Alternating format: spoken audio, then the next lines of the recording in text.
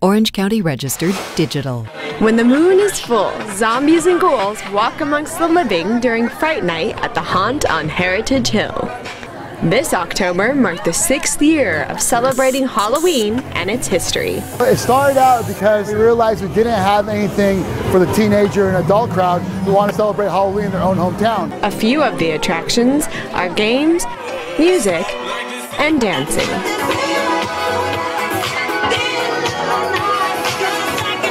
Screenings of scary movies honoring historical actors is a popular part of the night. We really want to honor the heritage of the haunts, which is the Universal Studio Monsters. For those walking the grounds to scare, the haunt is a way of keeping the love of fright alive.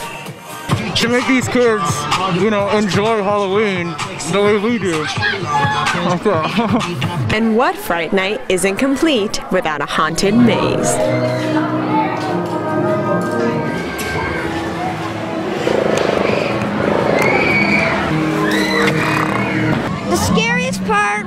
Zombies. Because zombies are my worst fear. I was trying to run for my life when I was in there. For those who are too chicken for the haunted schoolhouse, the Carnivore Scare Zone is a little less frightening.